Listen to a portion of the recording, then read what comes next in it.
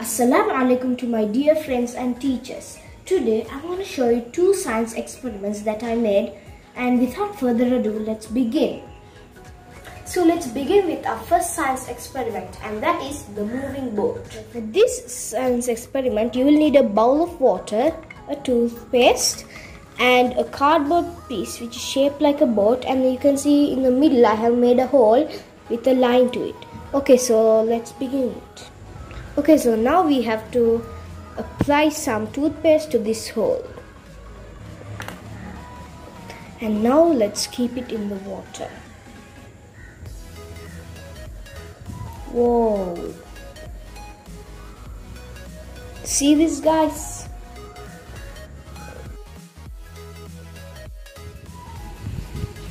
Just see how it's moving automatically and I'm doing nothing, I'm not blowing air. Now the reason to this experiment is because when you put toothpaste and water together, it expands. And without further ado, let's begin with our second science experiment. So this next experiment is to show you the rising water. For this science experiment, you will need a skewer, which is also known as a barbecue stick, red paint, a candle, matchbox, and a glass and a bowl of water.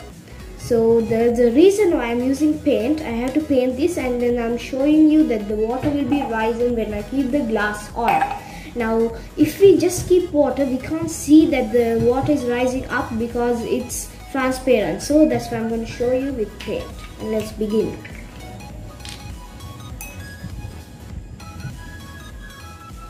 We're going to put some drop and then mix it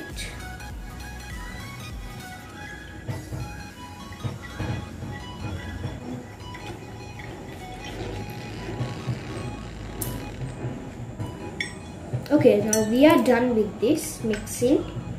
And then we are going to be lighting up a candle. Now I prefer you if, if you could use an adult supervision it would be better.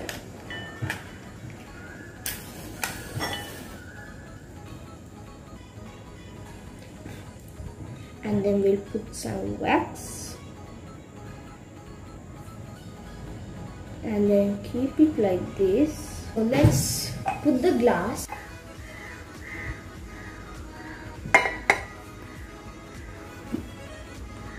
Whoa as you can see water is rising a little bit higher.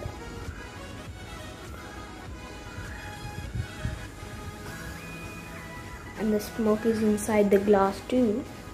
And when we take it out whoa did you see that